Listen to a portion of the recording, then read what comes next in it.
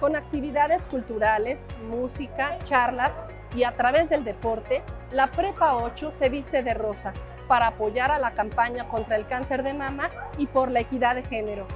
El conocimiento se construye en comunidad. Alumnos, profesores y personal de la Escuela Nacional Preparatoria número 8 de Plateros viven el Día Rosa con alegría, pero también dándose la oportunidad de conocer más sobre el cáncer de mama, por ejemplo, que puede aparecer entre los 40 y 69 años y que del 2016 a la fecha, aproximadamente un 15% de las mujeres que padecen esta enfermedad en América Latina son menores de 40 años.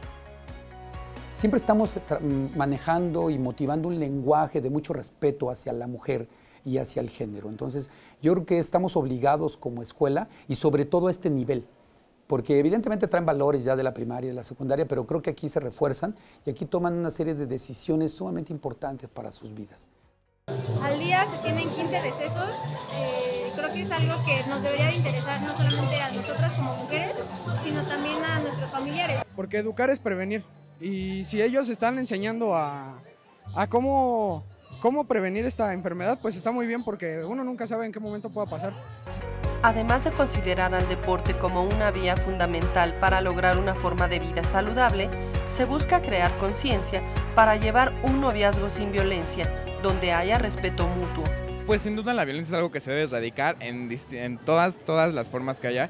Y pues es algo muy absurdo que exista todavía la violencia en pareja, siendo que la pareja se une porque se ama. Entonces no hay, no hay como una lógica en por qué el hombre maltrata a la mujer en ciertas ocasiones desde lo más chiquito que pueden ser hasta los celos, que desde ahí puede empezar la violencia, hasta algo más grave.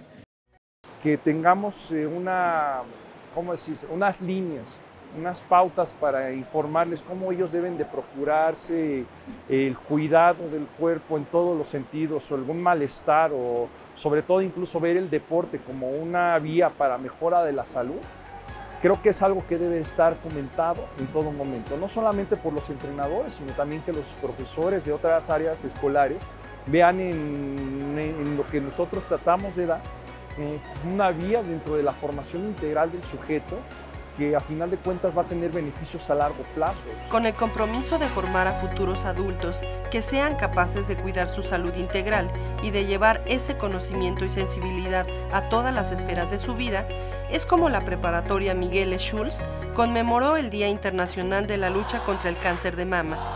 Para TV UNAM, Nadia Rodríguez.